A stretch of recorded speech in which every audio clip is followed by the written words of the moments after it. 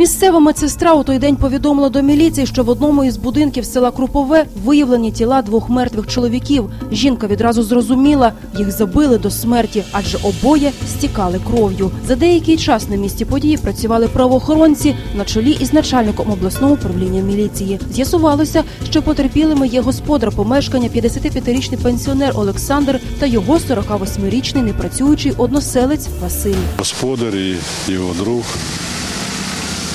з тілесними ушкодженнями знаходились на ліжках. Ну, на цю хвилину вже не живими. Після огляду місця події вилучено железний пруд, яким нанесені були тілесні ушкодження в області голови як е, господарю будинку, так і його товаришу. Чимало порожніх пляшок від горілки, які валялися біля хати, покази односельців та сусідів свідчили про те, що тут частенько збирались компанії.